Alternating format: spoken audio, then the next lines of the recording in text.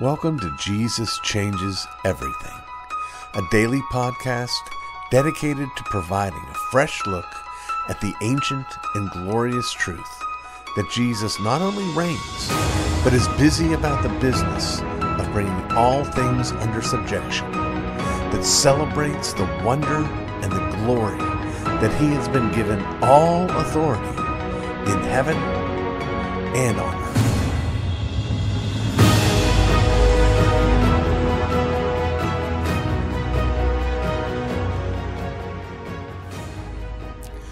One of the most frequent questions that I hear um, from both believers and non believers alike is this Does God hear the prayers of the non believer?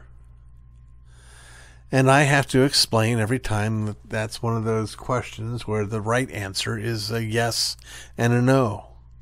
If by hear do we mean is God aware of? Of course, God is aware of the prayers of the unbeliever. God's aware of everything. God's omniscient. There's nothing said that God doesn't know, nothing thought that God doesn't know. In fact, there's nothing thought that God hasn't planned to be thought from before all time. But does he hear in the sense that a father hears the cry of his child? And that answer is no, he does not. And when you consider that, when you enter into that reality, you begin to get a little bit of a taste of what it means to us, how important it is, how significant it is, how it reveals who God is when we remember as part of our proper theology that the God that we serve, the God that we love, the God that's redeemed us, He is, as the scripture describes Him time and again, the God who hears. He is the God who hears. If you've ever, friends, been in that situation where you feel like your prayers do not pass through the ceiling of the room that you're in, that feeling is real. You're actually having the feeling, but it's also false. Your prayers, friends, don't travel from you up to heaven where God is. Because God is with you. He doesn't hear because you shout loud enough. He hears because he's right beside you. Have you ever been in those moments of heartache and anguish and uncertainty and fear? He has. Every single time. With you. And when we cry out, He hears. Now, does that mean that He is a celestial bellboy? Do we ring our bell and he comes running and does our bidding? Of course not. Of course not. He's not a tame lion. But it does mean that we're never alone. It does mean that he's right beside us. It does mean that we never have to fear that he doesn't know what we're going through. Tell him. How many times, friends, how many times have you been in the place where you're in that despair and you're in that uncertainty, you're in that anguish, and then it dawns on you, oh my stars, what an idiot I am. Why haven't I prayed yet? Do you know why that thought came to you? It's because your Father in heaven, watching you fret, watching your palms begin to sweat, being right beside you, just gently cleared his throat so that you would remember that you could cry out to him. We serve the God who hears. And by the way, he doesn't just hear us, friends, in our hardship. You understand that when we cry out to God with praise, He doesn't just hear it. He doesn't just say, well, yes, that's all true. He's not bored with our praise. He delights in it. He takes it in. He drinks it up. He rejoices in it. The scriptures say that God's throne is the praise of his people. It's what he sits upon. He inhabits the praises of his people. That's the God who hears. Now, I've got more good news for you. You know when you feel angry at him? You know when he feels distant to you? You know when you're frustrated? You know when he doesn't do your bidding and you want to shake your fist at him? He hears that too. And you may have many friends out there in the world, out there in the church, who are telling you, it's okay, God's a big God, He can take it. Yeah, that's not being a good friend. The only thing we should do when we're angry with God is not excuse our anger on the basis of its honesty. What we need to do is repent. But that too he hears. Lord, I'm struggling with anger. I'm struggling with frustration. I'm struggling with trusting you.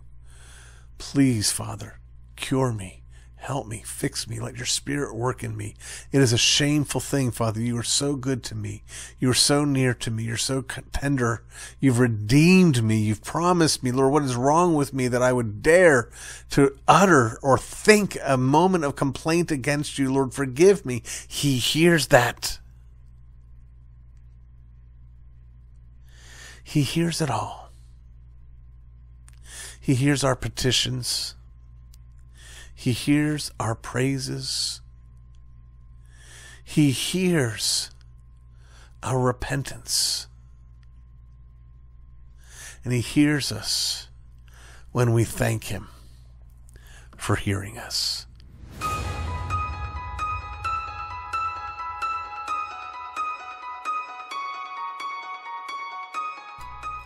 Have you ever had a hero sneak up on you? There's no question that I have.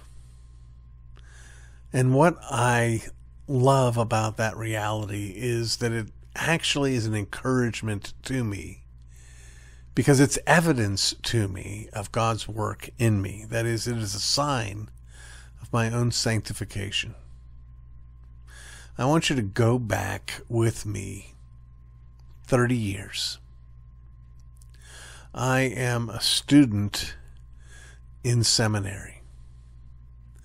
I have come to the place where my interest in theological matters is such that I'm a full time seminary student.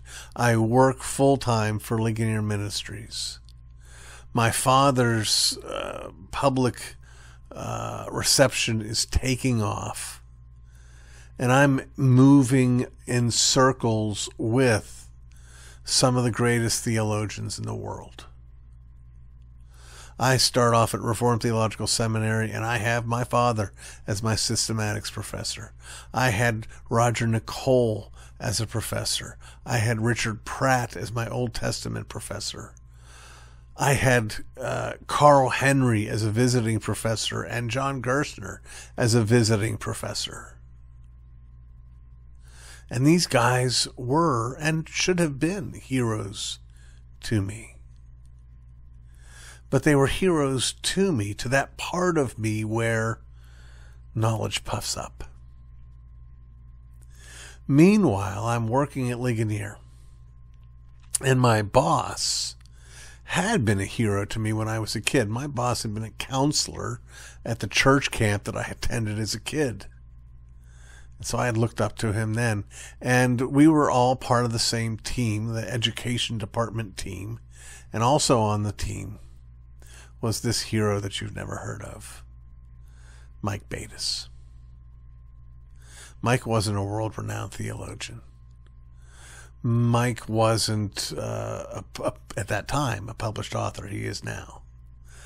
Uh, Mike wasn't a polemicist. He wasn't given to arguments. He was quiet.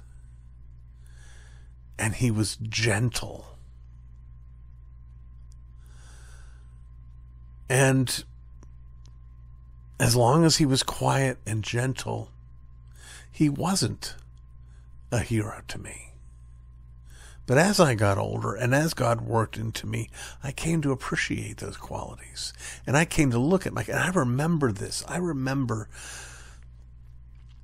the significant role that Mike played in my life because one day I was at the office and Mike's oldest child was there visiting. Now, I had seen Mike's kids around at various ministry events and had always admired their character and their good behavior. And so I was striking up a conversation with this young man. He was probably fourth or fifth grade. And I said, Hey, um, where do you go to school? And he said, Oh, I go to Tottenham Academy. And I said, Okay. And, and he left, and I began to think. I thought, I'm pretty sure I know every Christian school in the city of Orlando and I have never heard of Tottenham Academy. That's just weird. Wonder what that's about. Next time I saw Mike, I said, Mike, I asked your son. He said he goes to Tottenham Academy. Is there a new Christian school I'm not aware of? He just smiled and said, Oh, uh, that's what we teach our children to say when people ask where they go to school because we homeschool them. I'd never heard of homeschooling until that point. And yet, the moment he said that, I was already on board. Not because I was so enamored with homeschooling immediately, but because I thought to myself, if that's the kind of kid homeschooling can produce, that's what I want to do. And that's when I began to think, hey, this Mike Beates guy, he's a good dad. He's a thoughtful guy. Now, Mike and his precious wife Mary, and Mary is a wonderful, wonderful woman as well. They have a little girl who's profoundly disabled, Jessica. And I also had the blessing of watching them care for her, which modeled for me how I wanted to care for my Shannon. And again, I saw the tenderness, I saw the gentleness, I saw the wisdom. I saw the humility. That's who Mike is. Now, I'm not going to ask you to track him down and tell him that he is a hero to me because Mike has been such a hero to me for so long and so powerfully, even though he didn't start out that way, that I haven't been able to keep from telling him. Every time I see him, I tell him. Every time I see him, I choke up and say, Mike, I, you know, I want to be like Mike.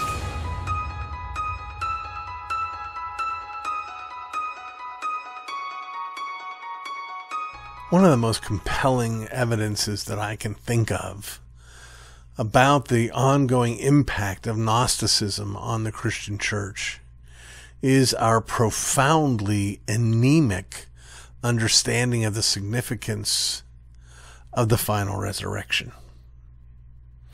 As we continue in our ongoing series on the Westminster Shorter Catechism, we turn today to question 38. In question 37, we looked at part two of a three part series of questions wherein the Westminster Divines were seeking to answer the question about the benefits that believers receive. The first question looked at what benefits do believers receive in this life. The question 37, what benefits do believers receive at their death? And for much of the evangelical church, that would have been the last question. But our fathers had the sense to ask this question What benefits do believers receive from Christ at the resurrection? The answer we're given is this at the resurrection, believers being raised up in glory, shall be openly acknowledged and acquitted in the day of judgment, and made perfectly blessed in the full enjoying of God to all eternity. These blessings, these gifts are those things which we will wait for between the time of our death and the time of the final return of Christ, the time of the resurrection of our bodies. But when that resurrection comes, these are the gifts that we will receive then. We will be raised up in glory. Now, friends, if you remember, I've done it many times and I'm going to continue to do it. I have uh, my own sort of patented outline of the Bible that goes like this Roman numeral 1, Genesis 1 and 2, creation. Roman numeral 2, Genesis 3, fall. Roman numeral 3, Genesis 4 through Revelation 22, trying to get back to Genesis 1 and 2 only better. In the same way that heaven is a place of wonder and the closeness of God and the absence of hardship and pain, so too was the garden like that. But the garden wasn't the end of what was supposed to happen with us or for us. If Adam and Eve had passed their test, they would have moved on to a state of glorification. And that's where we're going. We're going at the resurrection of Christ to where we would have gone if our first parents had not fallen from the estate wherein they were created. And we will be openly acknowledged and acquitted in the day of judgment. Oh, my stars, friends. Do you understand that? That public declaration of not guilty. Not guilty. Not guilty. R.C. Sproul, you're charged with the crime of harming your children by losing your temper. The judge declares you to be not guilty. R.C. Sproul Jr., you are judged. You are charged with the crime of having malice in your heart towards your brother without just cause. And you are found not guilty. Not only that, but those places, friends, where we have been sinned against, will be acknowledged. Now, this is again a sure sign that we don't believe in the fullness of what is coming. We think that history stops when we die because we're so dissatisfied with this promise because we think that somehow, unless we are vindicated here and now, it doesn't really count. It's not really helpful. This end of days, day of judgment vindication, it won't really satisfy us. But the truth is, it will. We will be satisfied. We will be vindicated. Every wrong thing that people have believed about you will be demonstrated to have been wrong. Every false rumor, every lie, every bit of it will be gone. That's something to look forward to. But the fullness of the promise is here that we will be perfectly blessed in the full enjoying of God to all eternity. You have heard me say, if you've been listening to this podcast for long, that the reason we cannot behold the glory of God is because it's too much. But in our glorified state, our capacity to take in what we see will expand. And I'm going to argue it's going to continue to expand. One of the ways that someone came up with to describe the reality of the biblical language of levels of rewards great will be your reward in heaven. These ones will be least in the kingdom of heaven. And how we can understand these layers and yet avoid the, the fear of disappointment is this way that we say everyone in heaven will be full, but some will be thimbles that are full and some will be glasses that will be full and some will be 50 gallon drums that will be full and some will be swimming pools that are full. I believe that, but I also believe that everybody grows. That just as hell descends deeper and deeper and deeper, so heaven ascends as we move further up and further in. You've been listening to the Jesus Changes Everything podcast, a production of Dunamis Fellowship, the teaching outreach of Dr. R.C. Sproul Jr. If you've enjoyed this podcast, we encourage you to subscribe, which you can do at all the usual outlets, to tell your friends, and to spread the word. To learn more about the work of Dunamis Fellowship, please visit rcsprouljr.com and join us next time on Jesus Changes Everything.